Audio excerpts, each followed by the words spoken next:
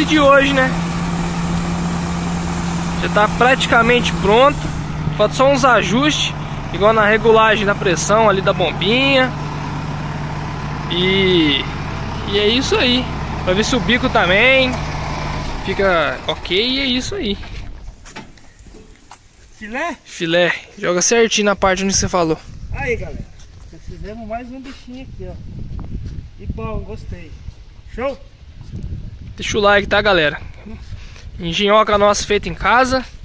É, tomando com base aquele ali nosso mais antigo, tá? Esse daqui não é pra gente, é pra um amigo nosso que Esse pediu. vai. Esse aqui vai pra pulverizar pasto.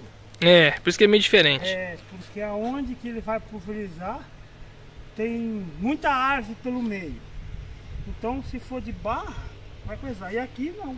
Aonde que o trator passa, você pode ver que eu tava olhando, ó. Ele joga aqui, ó. Ó, Quer ver? Aqui que eu vi que ele jogou de lá aqui, ó.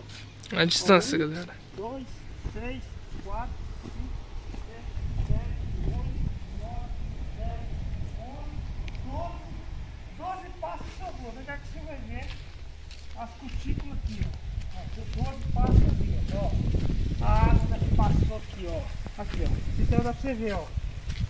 É que pegou a água aí, ó. Tem 12 passos largos. Tá bom demais, né?